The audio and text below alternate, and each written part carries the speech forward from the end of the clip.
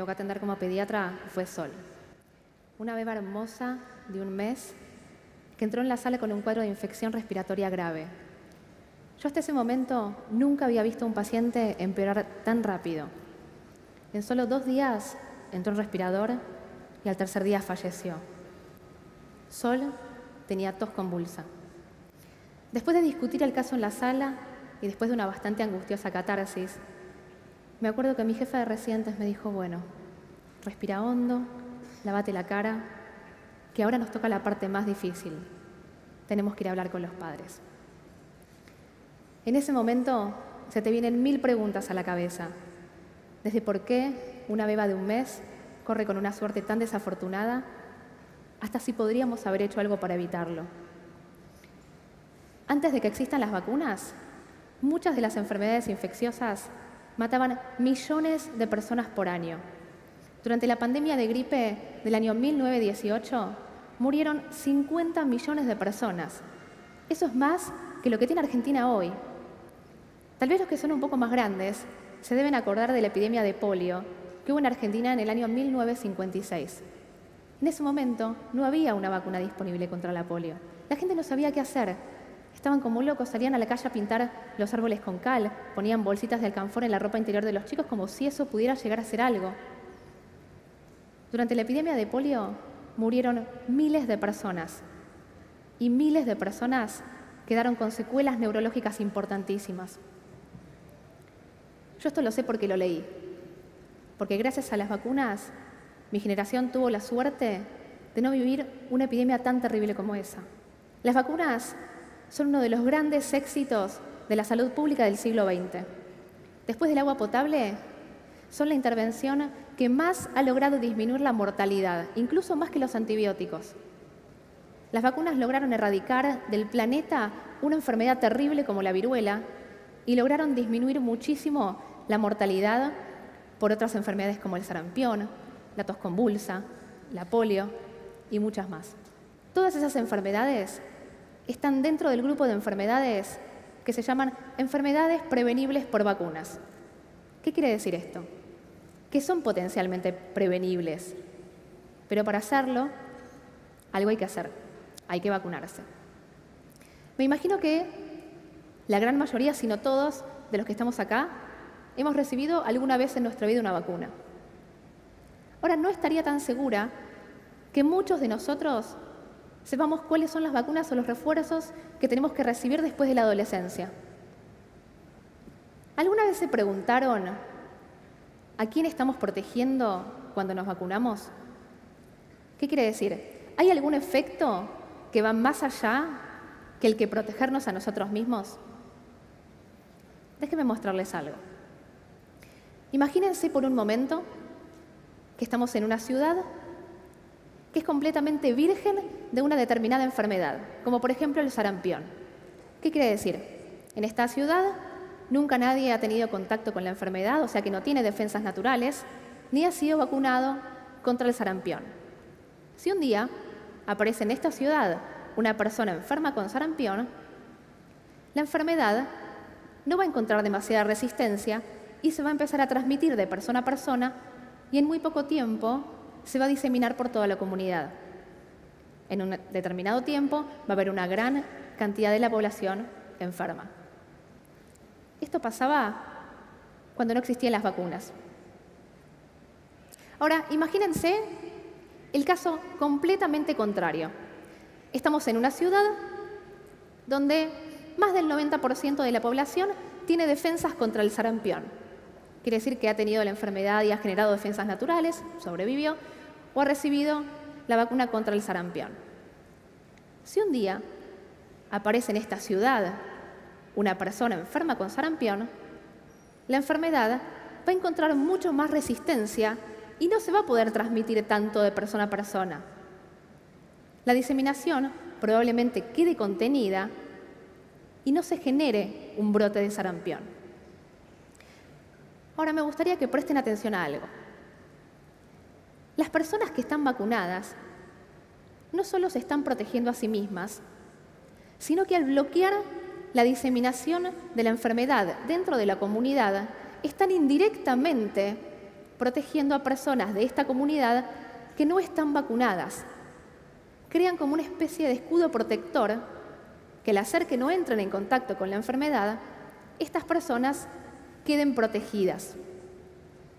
Este efecto indirecto de protección de las personas no vacunadas en una comunidad por el solo hecho de estar rodeadas de personas vacunadas se llama inmunidad colectiva.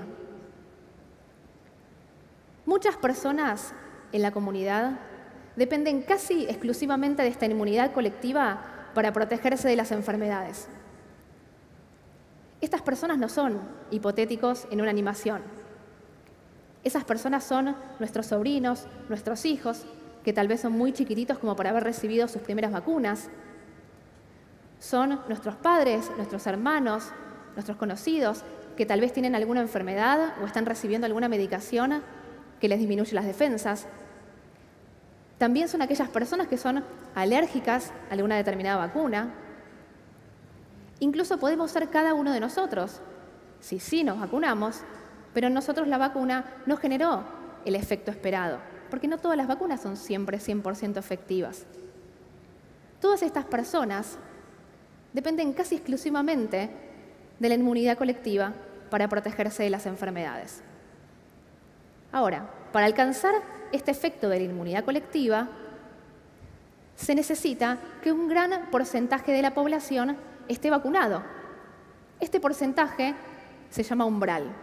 Este umbral depende de muchas variables. Depende de las características del germen, de las características de la respuesta inmune que genera la vacuna.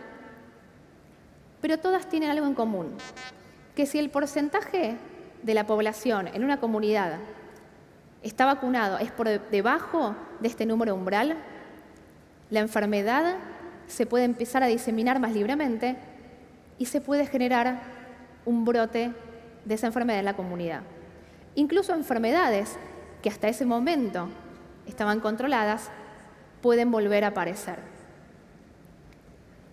Esto no es solo una teoría, esto pasó y pasa. En el año 98, un investigador británico publicó un artículo en una de las revistas más importantes de medicina que decía que la vacuna triple viral, que es la que se da para sarampión, paperas y rubiola, se asociaba al autismo. Esto generó un impacto inmediato. La gente empezó a dejar de vacunarse, empezó a dejar de vacunar a sus hijos. ¿Y qué pasó? El número de gente vacunada en muchas comunidades del mundo bajó por debajo de este umbral.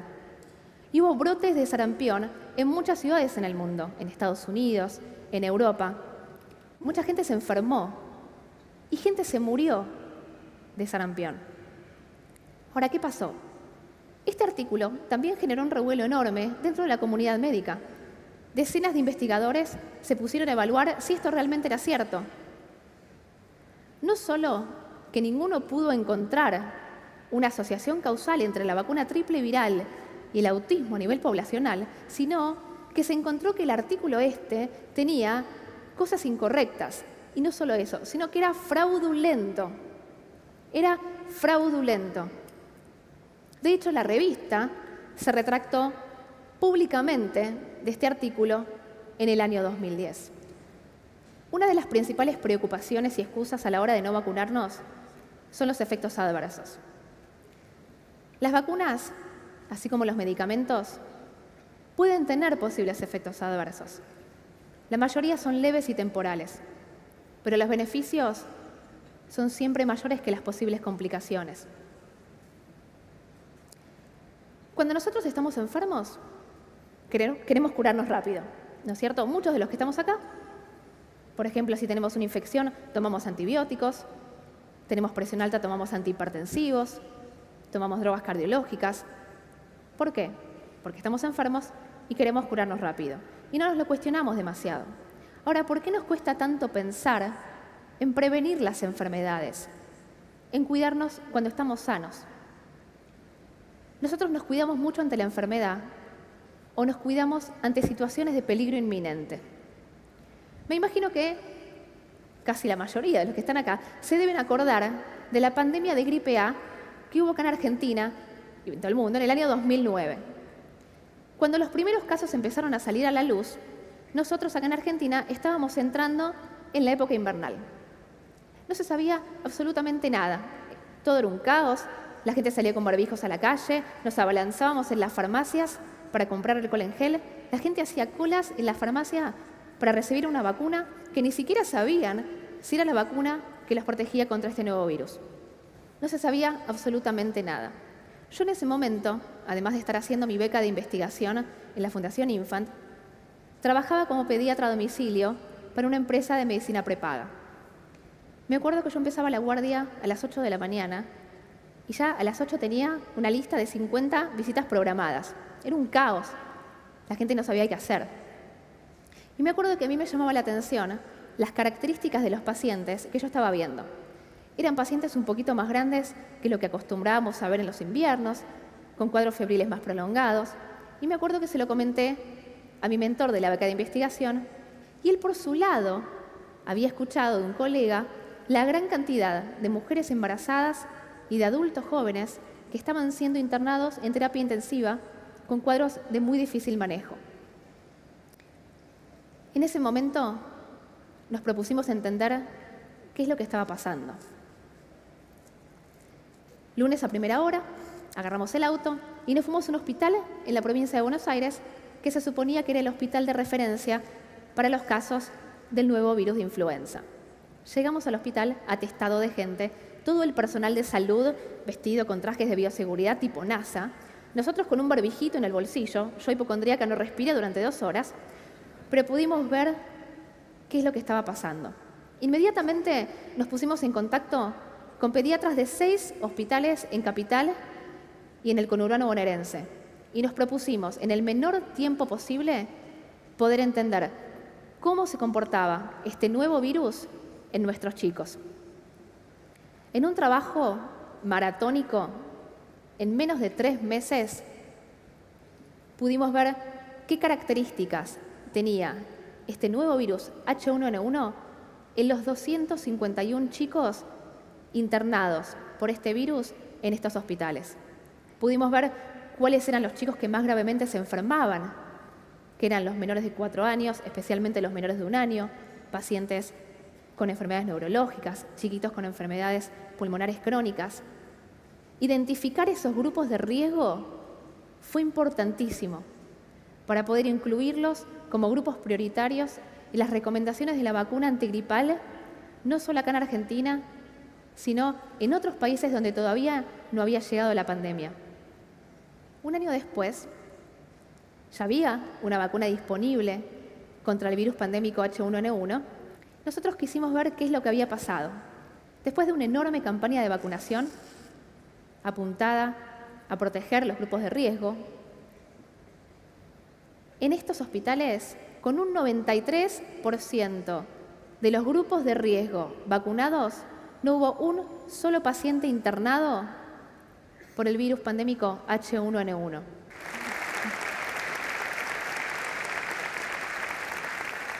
Año 2009, 251.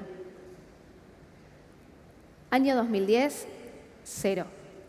Vacunarse es un acto de responsabilidad individual, pero que tiene un enorme impacto colectivo. Si yo me vacuno, no solo me estoy protegiendo a mí misma, sino que también estoy protegiendo al otro. Sol tenía tos convulsa. Sol era muy chiquitita y todavía no había recibido su primera vacuna contra la tos convulsa. Yo todavía me pregunto, ¿qué hubiera pasado si todas las personas alrededor de Sol hubieran estado vacunadas?